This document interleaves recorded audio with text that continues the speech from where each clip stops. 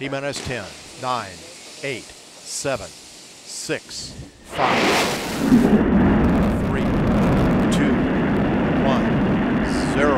And liftoff of Space Shuttle Atlantis on a mission to build, resupply, and to do research on the International Space Station.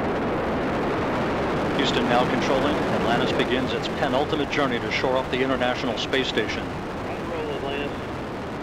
Atlantis now in the proper alignment for its eight and a half minute ride to orbit. Four and a half million pounds of hardware and humans taking aim on the International Outpost.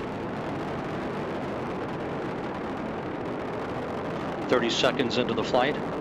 Atlantis almost two miles in altitude, almost six miles downrange from the Kennedy Space Center already, traveling 500 miles an hour. The three liquid fuel main engines now throttling back to 72% of rated performance, going into the bucket, reducing the stress on the shuttle as it breaks through the sound barrier.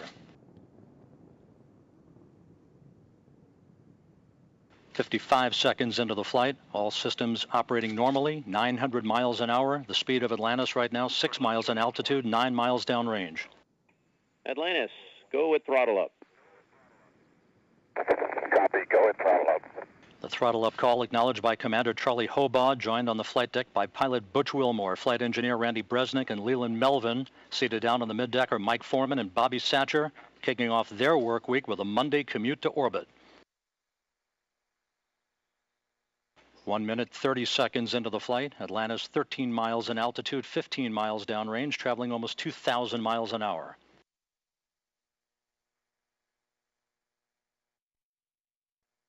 Three good auxiliary power units, three good fuel cells, three good main engines.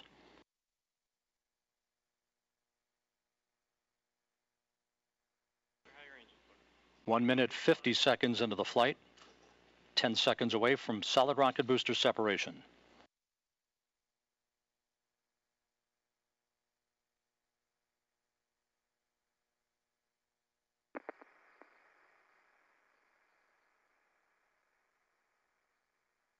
Booster officer confirms staging a good solid rocket booster separation. Guidance now converging. Atlantis steering into the center lane of Highway 129 en route to the International Space Station.